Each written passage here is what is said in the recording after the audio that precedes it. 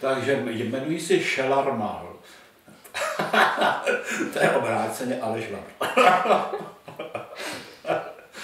A jsem univerzální obelis, jestli vám to nevadí. Dělám všechno.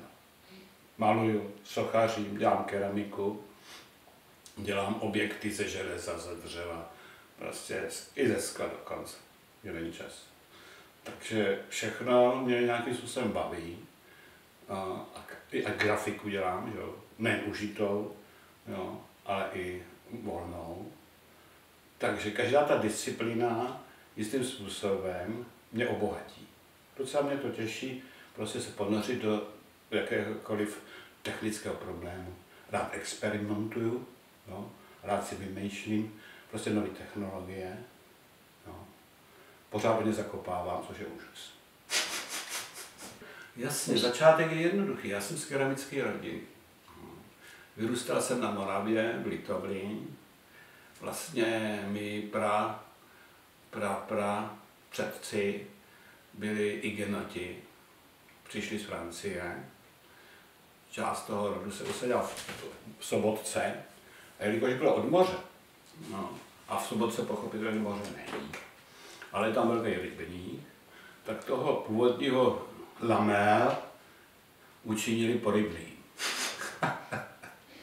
Pak se teda jako počeštil na lamr, jo, ano, a část toho rodu přešla potom na Moravu, no, můžeme říct habánská fajans a to všechno, vlastně to, to s tím nějak souvisí.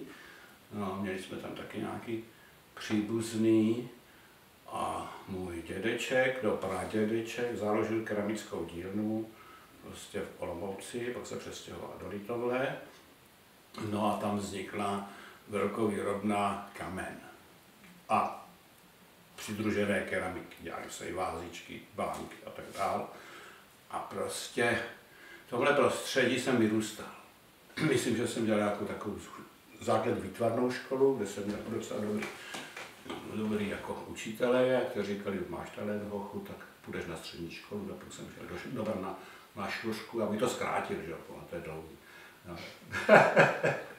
na šušku, což byla taková střední škola výtvarných řemesel, dřív byla vyšší, a pak to nějak zase komunisti zrušili. A tam jsem měl úžasného profesora, to byl vídeňský architekt, eh, který vyhrál druhou cenu na operu Sydney. Nikdo neví. Já jsem k němu šel proto, proto, že mě fascinovala scenografie. Protože scenografie je všechno. Malba, grafika, socha, architektura, grafika. A já jsem už tak někdy mládí tihnul k tomu, abych byl univerzální obelisk, jak říkám.